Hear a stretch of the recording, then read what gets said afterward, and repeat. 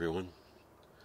I'm in the photography blind and it's early in the morning, and I'm photographing chipmunks and whatever else is going to be out here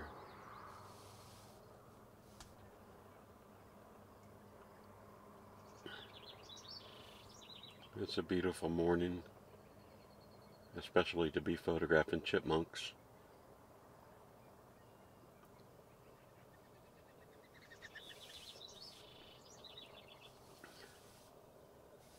It's been a while since I've made a true photography video because I've been working on the new homestead.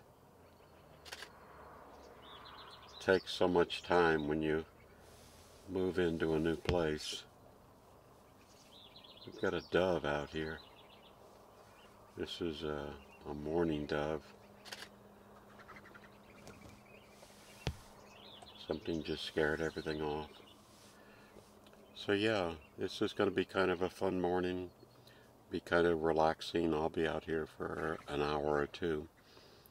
Just trying to document the wildlife that is here at the new property at MooseVilla Off-Grid. We'll try and do a single species at a time because that way I can do the setups and things like that uh, I've got the photography blind oriented from east-west because it's pretty early in the morning so the sun is directly behind me shining directly forward. We're getting some animals landing on the bird feeders and stuff like that.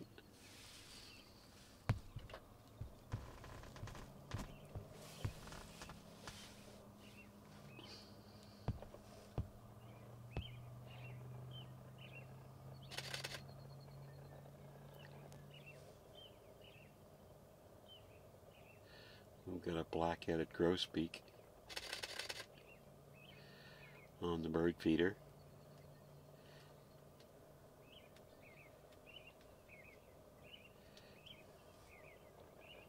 I'm not usually into photographing birds on a bird feeder, but as part of just documenting what we have here, I don't mind doing it.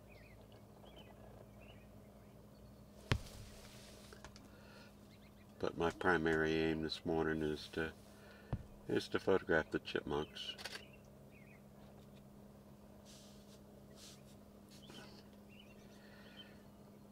And bring you guys along so that you can see what's going on.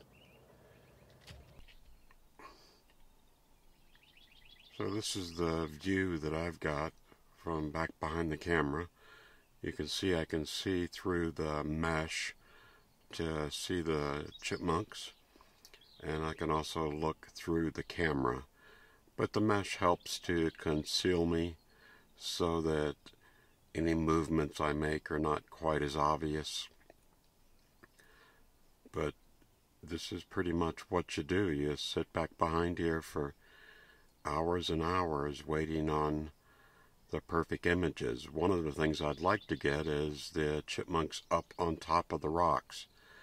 But that's pretty difficult to do because they don't stay there but a fraction of a second because they don't want to be out in the complete open like that for predators.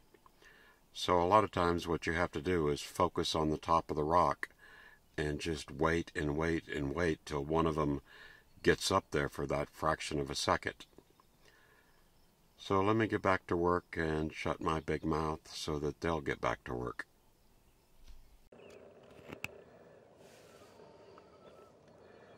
So this is our setup.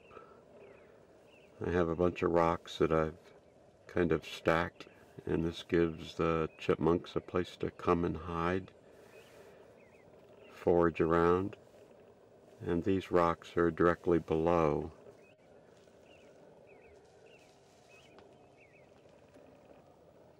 So one of the bird feeders is a peanut type of mix that's inside a basket. And of course some of the crumbs fall onto the ground when the birds feed on it.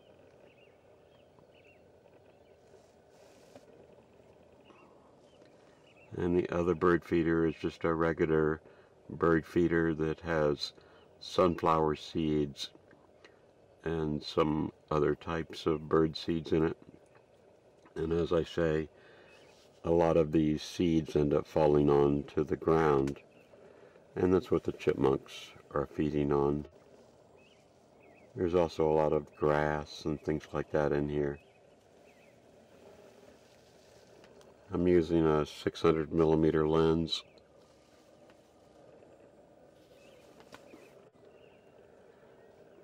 with a Canon R6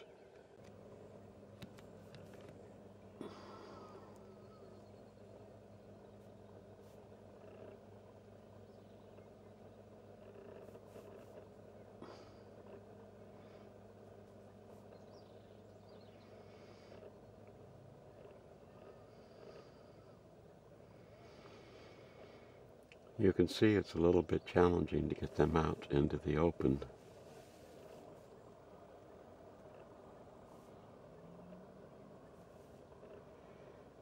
And then when they do get out in the open, a lot of times all they give you is a tail shot.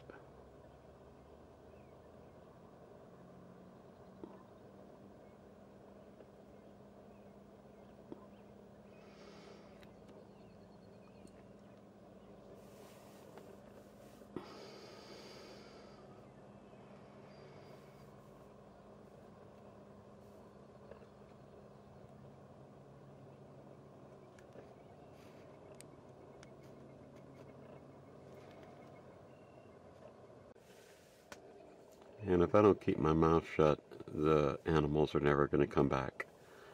So I'm going to sign off here and we'll show you the pictures that we've captured today. I thank you so much for joining us and if you would hit the like icon and consider subscribing to our channel and we'll see you again next time. Thank you so much.